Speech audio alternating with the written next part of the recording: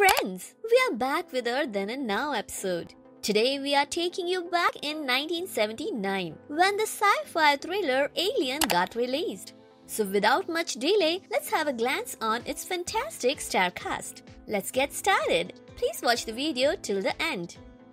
John Hurt played Executive Officer Ken.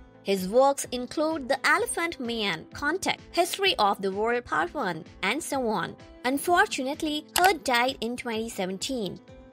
Harry Dean Stanton was an American actor who played Brett in the movie. He was a popular and accomplished actor of Hollywood. The Green Mile, Pretty in Pink, and Repo Man are some of his memorable works. Unfortunately, he left the world at the age of 91 in 2017.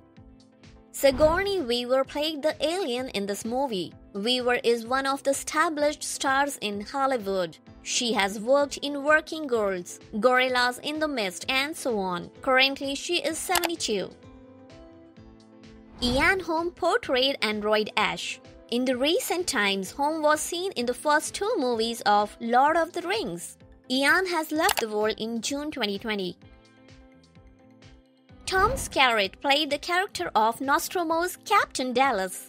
Skerritt has a long career including movies like Poltergeist 3rd, Poison Ivy, Contact, and so on. He's working since 1962. Currently, he is 88. Veronica Cartwright portrayed Lambert in the movie. Cartwright is a well-known face on television as well as on big screen.